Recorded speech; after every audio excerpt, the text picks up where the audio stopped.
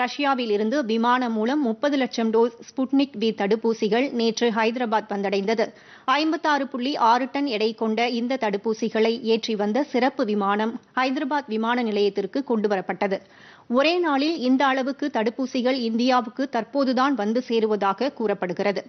விமானத்தில் இருந்து இறக்கப்பட்ட தடுப்பூசிகள் அனைத்து நடைமுறைகளும் முடிவடைந்த பின்னர் தொன்னூறு நிமிடங்களில் வெளியே அனுப்பப்பட்டது. ஸ்புட்னிக் வி தடுப்பூசிகளை மைனஸ் இருபது டிகிரி செல்சியஸ் வெப்பநிலையில் வைத்திருக்க வேண்டும் என்பது அவசியமாகும்.